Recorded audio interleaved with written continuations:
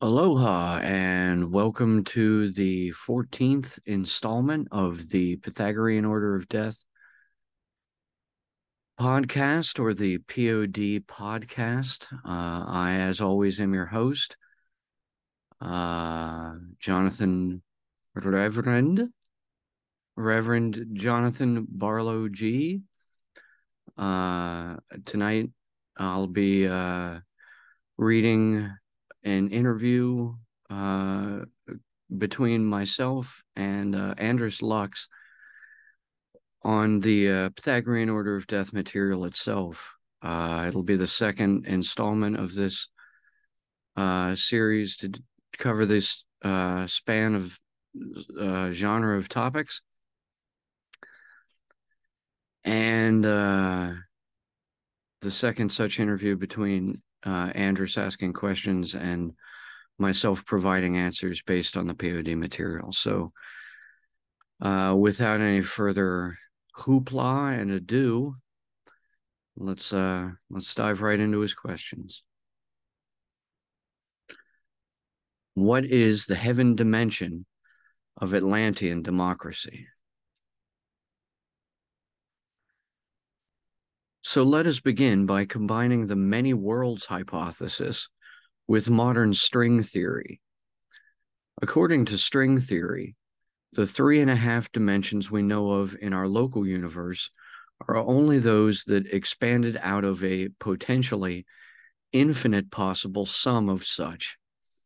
Modern string theory tends to limit the number of dimensions in our neighboring multiverse to somewhere around 10 or 11 such that our local universe has three, two neighboring universes also have three, and all three of these universes share the same direction of time as well. Hence, our own three, plus three of a parallel dimensional universe to our own, plus another three of another parallel dimensional universe, and then added on top of all these nine of these dimensions our own local three, and the three of each of our two neighbors. The singular direction, one half of a dimension of time as a unifying force to connect them all. Now, if we can describe the relationship of these neighboring universes as being parallel along the same timeline to our own, then we can describe them as being potentially either ahead of and behind our own in time, or else one on either side of us, all side by side existing at the same time, or else one above and one below, where there would be a comparably better universe above us and a comparably worse universe below. Now, if the universes are ahead of and behind us in time, we can define them as like a future, the leading, and past, the lagging universe, still theoretically comparable to our own. If these neighboring universes occur at the same rate as our own local universe, then they may be parallel alongside our own, but no more or less advanced than our own. So differences between them may be difficult to discern. If these yet hypothetical neighboring universes are situated so that one is above and the other is below our own, then significant differences may begin to become apparent. The better universe above our own and the worse universe below would constitute a heaven and hell dimension comparable to our own middleweight universe between them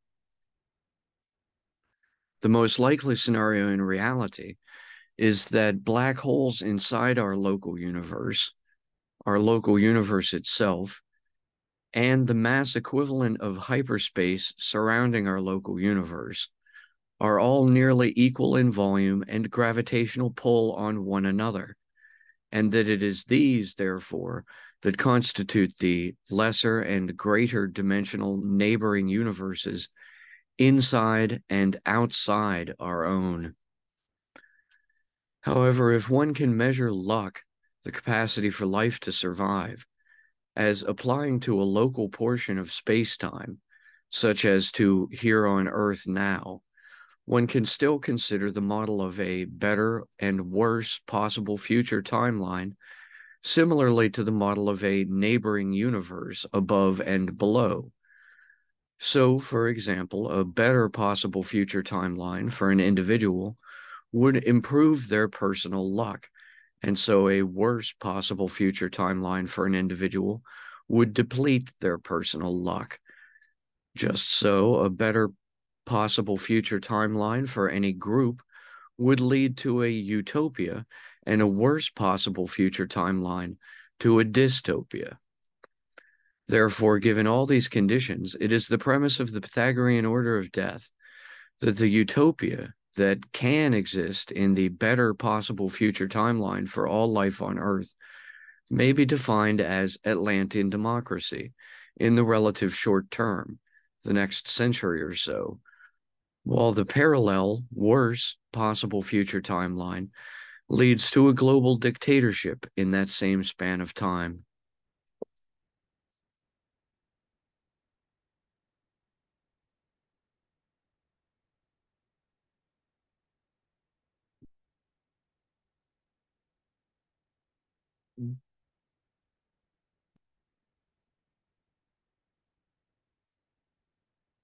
Answers second question.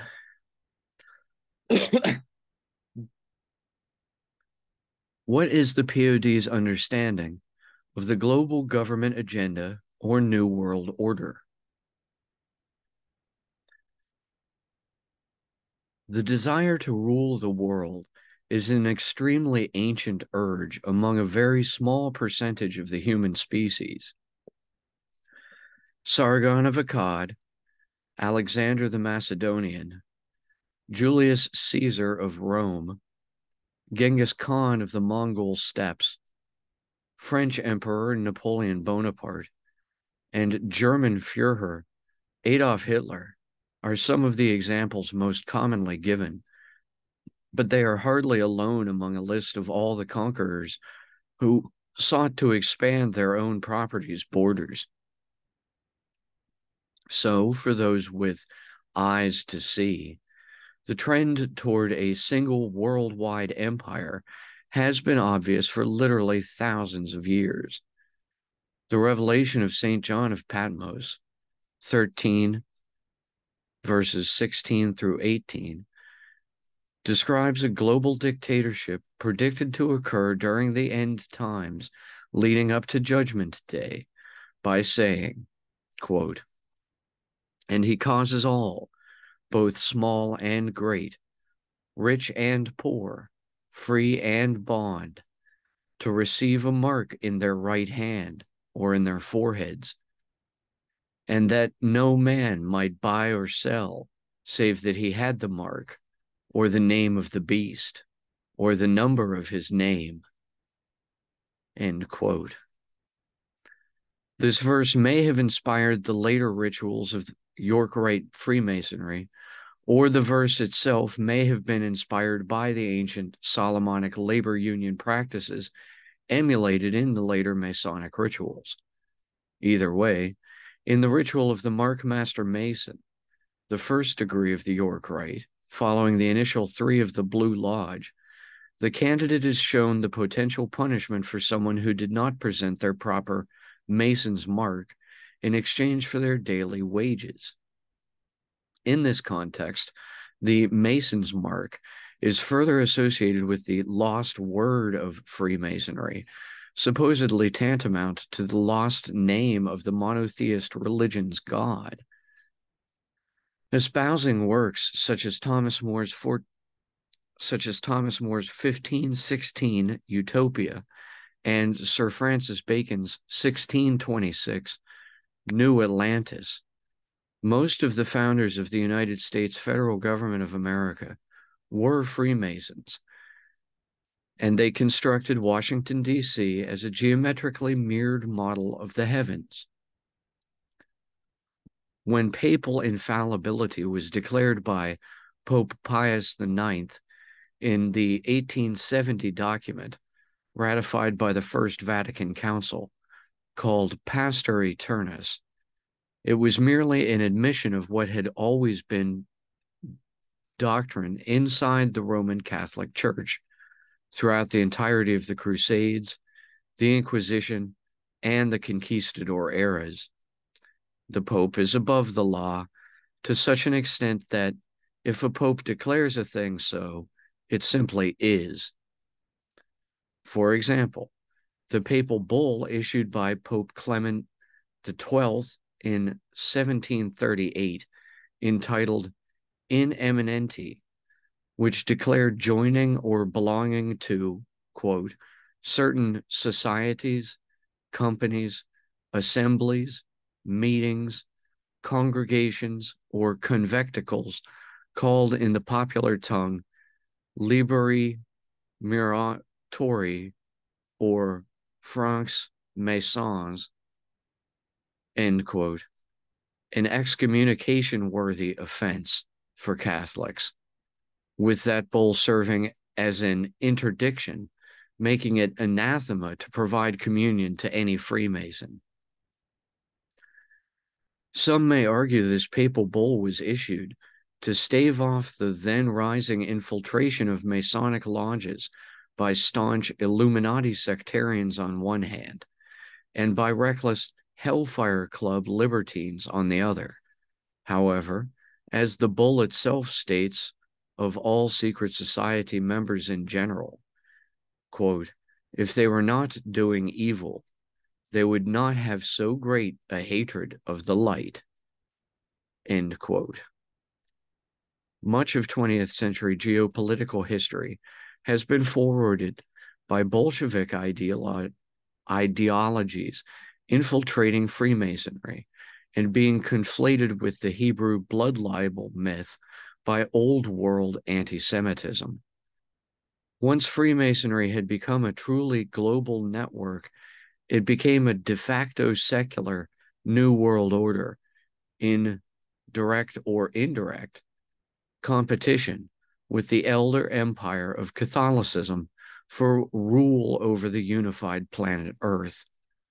So, from the conservative Catholic point of view, Freemasonry historically harbors radicalized liberalism, while from a Masonic point of view, Catholicism has become, or always was, a spiritual dictatorship under the autocratic rule of the Vatican papacy neither is ideal.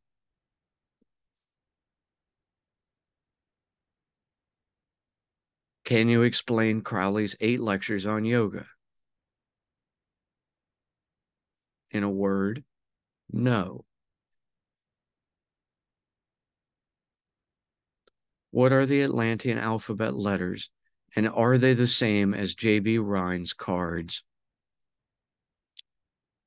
Yes, the five letters of the Atlantean alphabet of unspoken telepathic communication are a direct pilfer of the Zener cards used by psi researchers Carl Zener and J.B. Rhine, developed in the 1930s. The premise is that these symbols leaked into the collective unconsciousness to such a level they bled back through time to the earliest ideations of mankind. There may be some justification made for this, considering the basic geometry and symbolism of these shapes in themselves when compared to petroglyphs from various ancient cultures.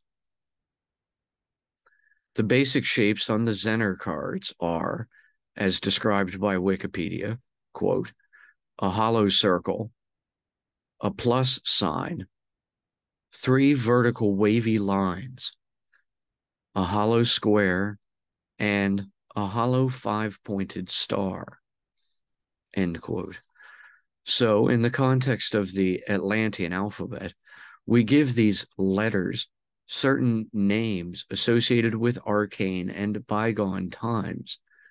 The hollow circle we call Om the plus sign we call Thule.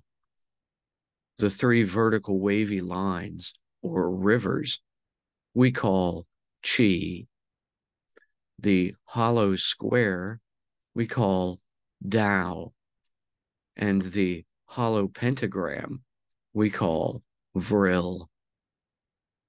The Atlantean alphabet concept, introduced early in the POD omnibus, plays a far more important role later on in the constitutions of the Pope, where it is associated with both the positions of the chief executives during certain key pivotal rituals and with sacred music theory.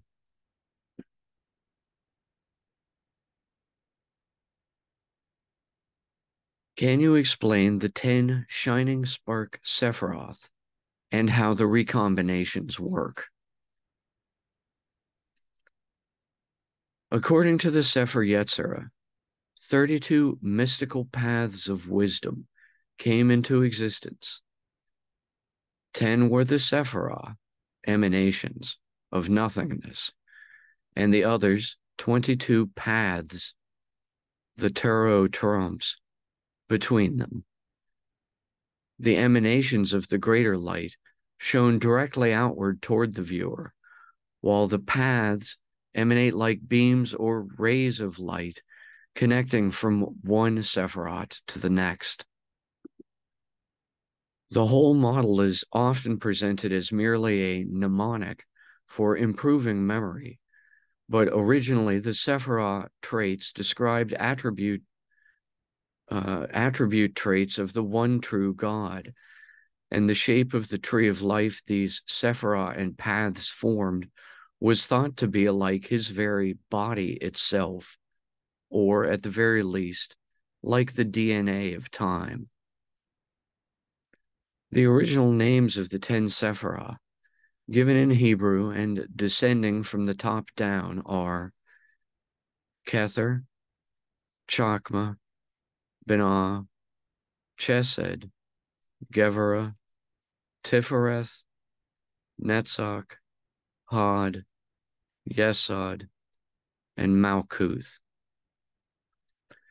These terms mean, in ascending order and English translation, the kingdom, the foundation, the splendor, the victory, the beauty, the courage, the mercy, the understanding, the wisdom, and the crown.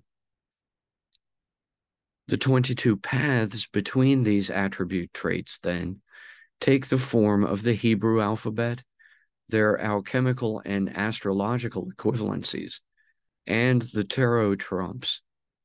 So nowadays we describe these this way, listing the 22 paths as the numbered trumps beginning with zero and ending with 21. Zero. The fool is crowned in wisdom. One. The magus is crowned in understanding. Two. The high priestess is crowned in beauty. Three. The empress is she whose understanding equals wisdom. 4. The emperor is he whose wisdom is beauty. 5. The pope is he whose wisdom is mercy. The lovers, 6. Whose understanding is beauty. 7. The chariot, whose understanding is severity. 8. Strength, whose severity is mercy. 9. The hermit, whose mercy is beauty. 10. The wheel of fortune, whose mercy is victory. 11. Justice, whose severity is beauty. 12. The hanged man, whose severity is splendor. 13. Death, whose beauty is victory. 14. Temperance, whose beauty is the foundation. 15. The devil, whose beauty is splendor. 16. The tower, whose victory is splendor. 17. The star, whose victory is the foundation. 18. The moon, whose victory is the kingdom. 19. The sun, whose splendor is the foundation. 20. Judgment, whose splendor is the kingdom. And 21. The world, whose foundation is the kingdom. Of course, as any student of these subjects knows, there are many formulaic models, each with its own school of adherents. As the middle pillar of the Tree of Life design has slipped down over the ages, it has opened up the debate about an 11th non Sephiroth of Daath, meaning knowledge, but essentially cognate to gnosis or inspired revelation that may or may not occupy the veil of the abyss between chesed, mercy, and binah, understanding. Therefore, nowadays, much of the original intention of Kabbalah is lost.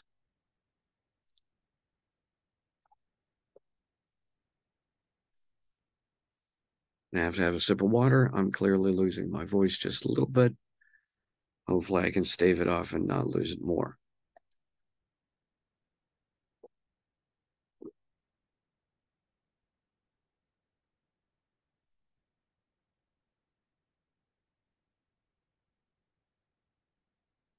So that's my plug for water.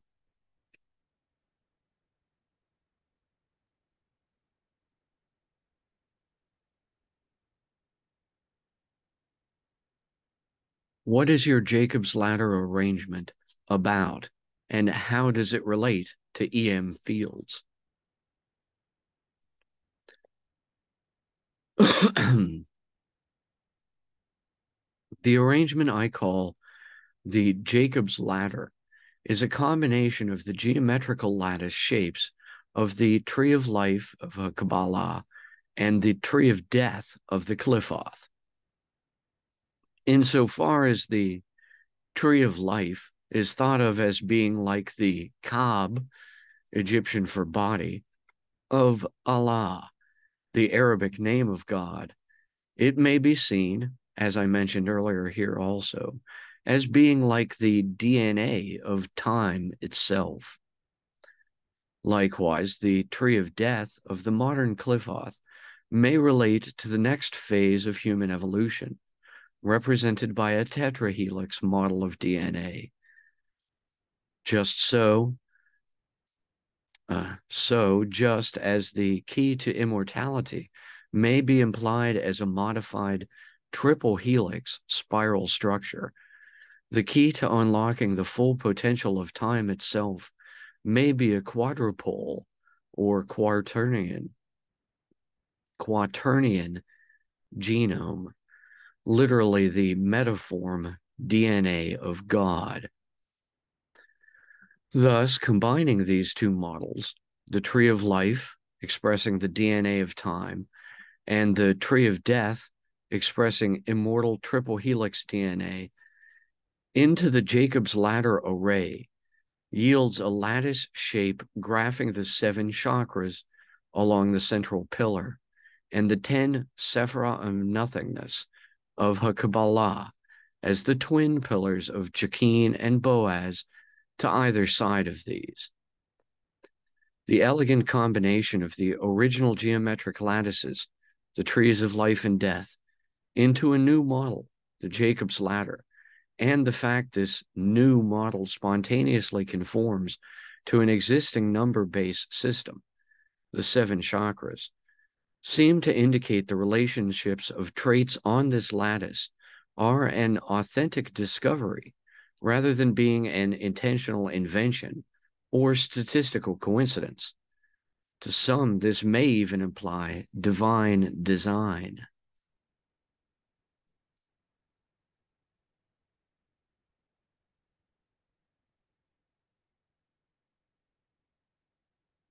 In the POD literature, what is your understanding of the seven chakra nerve centers? Firstly, the seven chakras of the Vedic, Hindu, Buddhist tradition in the Orient do correspond to the five nerve plexuses along the spine to the thalami and pineal gland inside the brain. The root chakra, called Muladhara, corresponds to what neuroanatomists today call the pair of coccygeal CO1 nerves. The sacral chakra, Svadhisthana, corresponds today to the five sacral nerve pairs. The navel chakra, Manipura, corresponds to the five lumbar nerve pairs. The heart chakra, Anahata, corresponds to the 12 thoracic nerve pairs. The throat chakra, Vishuddha, corresponds to the eight pairs of cervical nerves. The third eye chakra, the ajna, corresponds to the left and right thalami, located just posterior to the frontal lobes of the cerebrum. And the crown chakra, Sahasrara, corresponds to the paired pineal and pituitary glands located below the corpus callosum in the middle of the brain. Based on my own understanding, and thus included in my contribution to the POD material, these seven chakra nerve centers, known of in the Orient, correspond to the so called seven classical planets of antiquity. In the Occident as being like antennae that have evolved to tune into the microgravitational tides caused by our five local planets, moon, and sun. Just so, the root chakra, Muladhara, is attuned to the planet Saturn. The sacral chakra, Svadhisthana, is attuned to the planet Jupiter. The navel chakra, Manipura, is attuned to the planet Mars.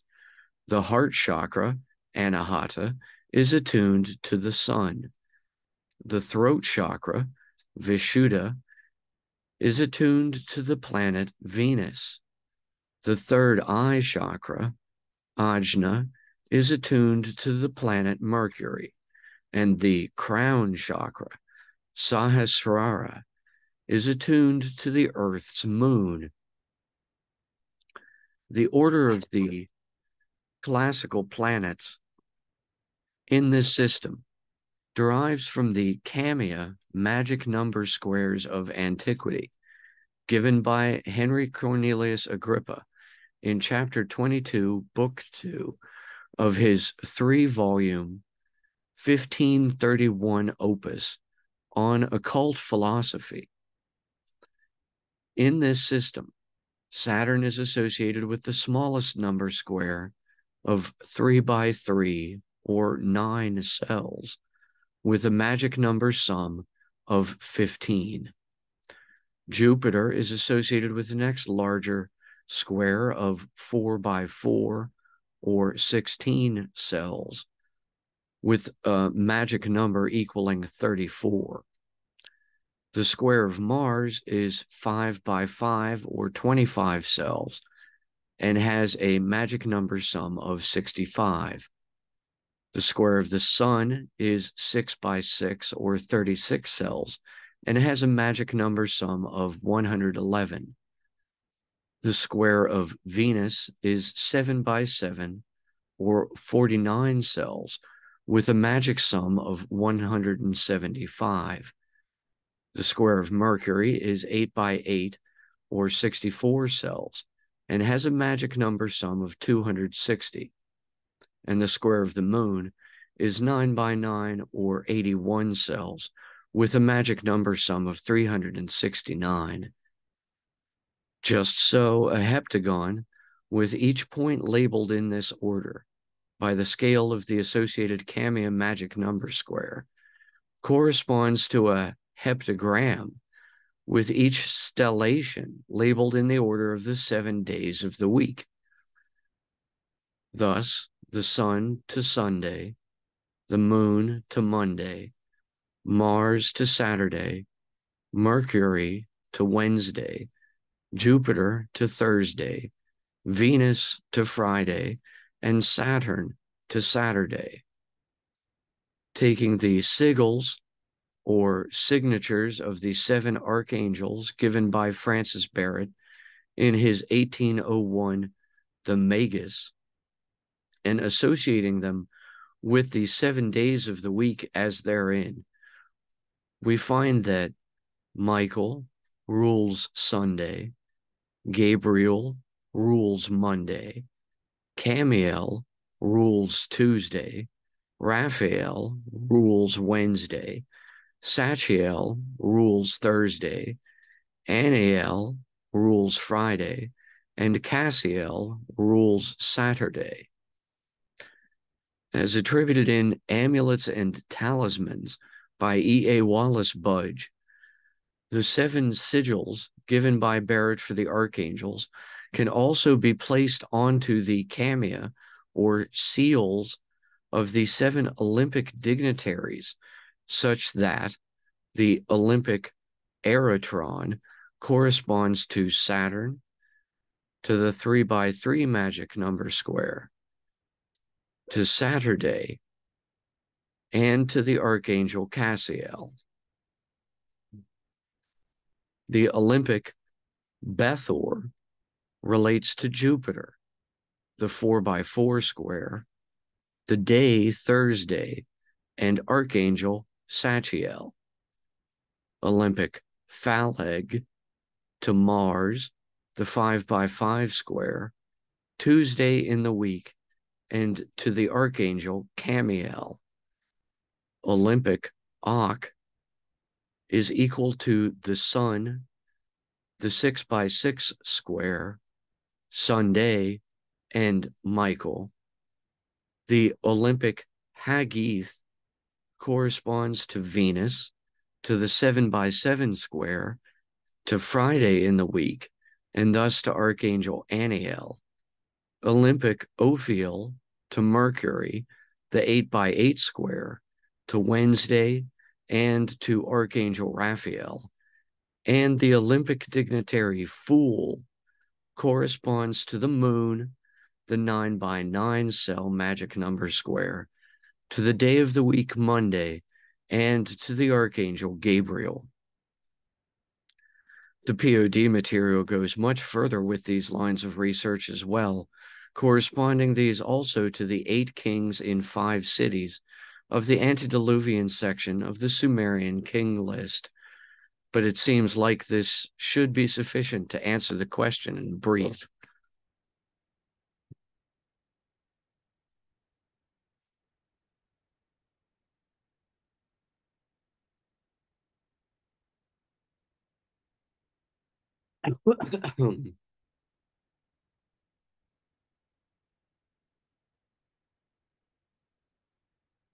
what is the morphogenetic field and how does it relate to our aura?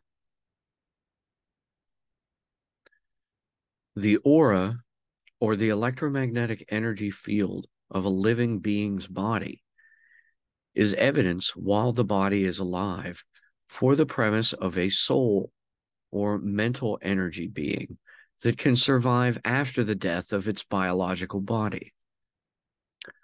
Although its exact form varies over time, the symbolic depiction of the average shape over a whole lifetime of the aura is a torus, most specifically, a hypersphere surrounding a spiral that connects the top pole to its opposite along seven twists or smaller spheres, the seven chakras. Traditionally, the pattern of flow of energy in this toroidal aura has been better understood than the nature of the energy comprising it. For example, chi or psi exists within the aura and outside of it, these being expressions for the zero point energy field of hyperspace. while the aura itself is comprised of karma, good and evil, that somehow divides this energy force outside from inside itself, like a soap bubble full of air, clear or smoky, floating in the same medium it contains. The direction karma or chi flows on the surface of the toroidal aura itself appears to be from top to bottom and around the outside downward, and then from bottom to top along the central spiral upward. Even this appearance may be deceptive, however, since it may only look this way from the outside, while seeming the opposite from the inside looking out. In any event, the upward, inward flow of this esoteric energy force is associated with Kundalini in yoga, the inner fire snake that may be aroused through the various yogic practices. Kundalini in the Orient is thought to also be cognate to the concept of the Mayan Quetzalcoatl or Aztec Kukulcan, the feathered serpent deity of the Yucatan and Mesoamerica. Now, if the aura can, thus, be likened to the soul, then the morphogenetic field may be likened to the spirit.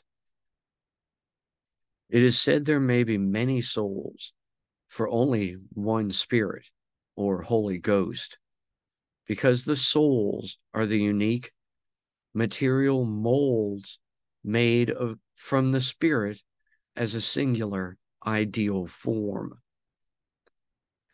This is to say, the patterns of the aura's energy for each individual may be unique to them during their lifetime, but if averaged over time, they conform to the shape of a torus field overall.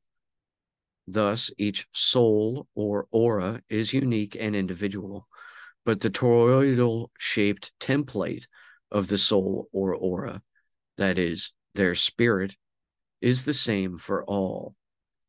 So it can be reasoned that the morphogenetic field or spirit, as an archetypal template defining the symbolically toroidal form of the soul, is to the esoteric energy of ZPE, like the Higgs boson is for matter with mass. The modernly called Higgs boson is itself is it is said what gives matter its mass. The Higgs boson is a quantum, or more exactly, a specific kind of spin that gives mass to all things. To give means to bestow and to allow.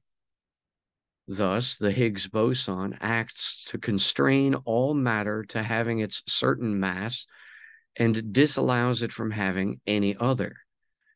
Just so, in string theory, it is hypothesized that the Big Bang event allowed only three spatial dimensions to expand out of 11 possible.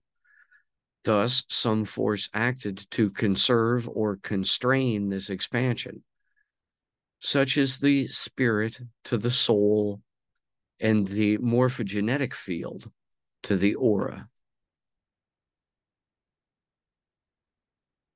Andris's final question is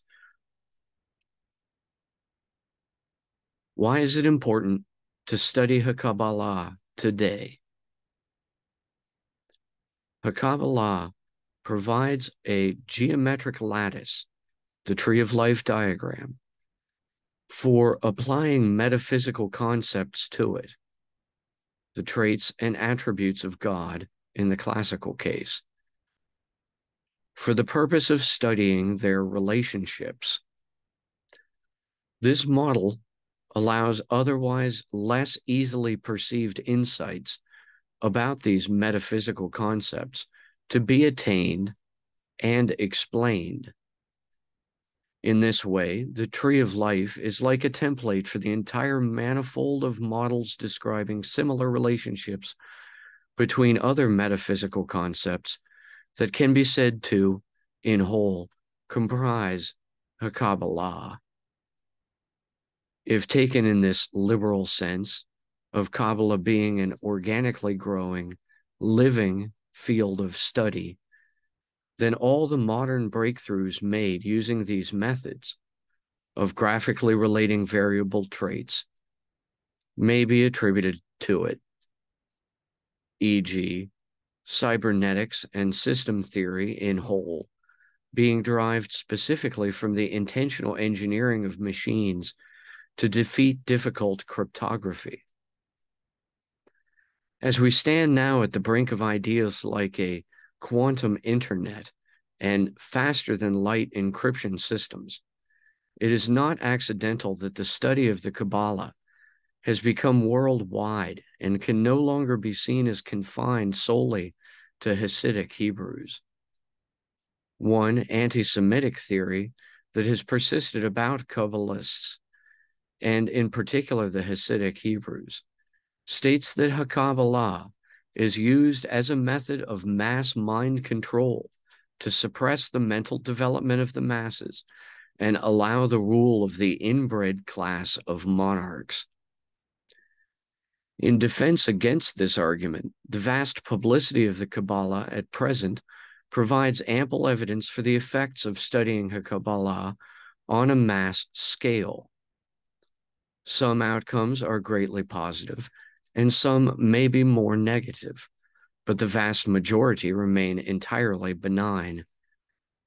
As Buddha put it, a fool, even if associating with a sage for a whole lifetime, will no more perceive the Dharma than a spoon perceives the taste of soup. If one perceives a Kabbalah as evil, one will likely be biased against studying it. But if one studies Kabbalah, one will likely cease to perceive doing so as evil. Thus, claims made against the study of the Kabbalah are made in ignorance, and claims made in favor of studying the Kabbalah are usually based on personal, self serving bias as well. Nevertheless, a Kabbalah exists regardless of whether it is suited, whether it is studied or ignored. And to this extent, it is superior to even the idea of God itself, which is everywhere known of and widely believed, but without material evidence and logically false. Kabbalah exists. It describes a higher dimension of reality defined by metaphysics and the relationships between its variable terms. Study of Kabbalah holds a key to unlocking a more complete understanding of a higher dimension of maths, physics, and sciences in general. In a sense, Kabbalah is the key to the future of human evolution.